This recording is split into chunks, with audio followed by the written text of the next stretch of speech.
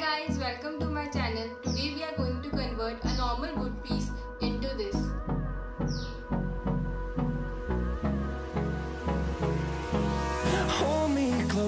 This is what the wood piece is looking before and the size which I have used is 11 by 11.5 inches.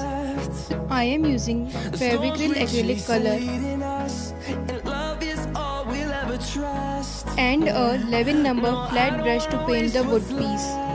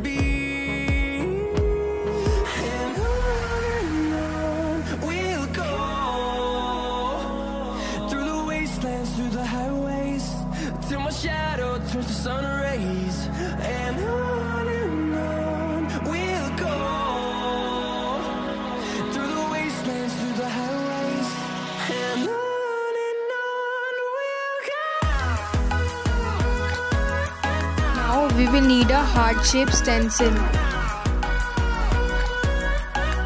a masking tape, few nails and a hammer. Now we will apply some tape on the edges of sheet so that the sheet does not move.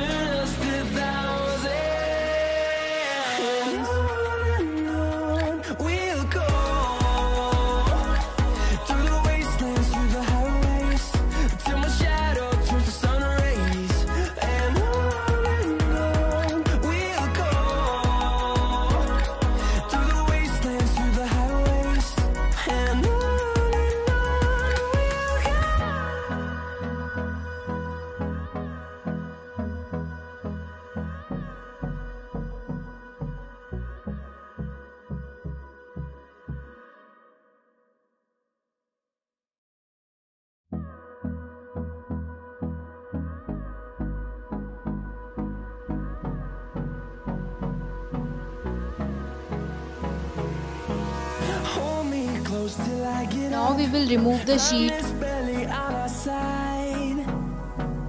I don't wanna waste what's left. The Now we have to take some wool. I am using pink color. You can choose any color of your choice.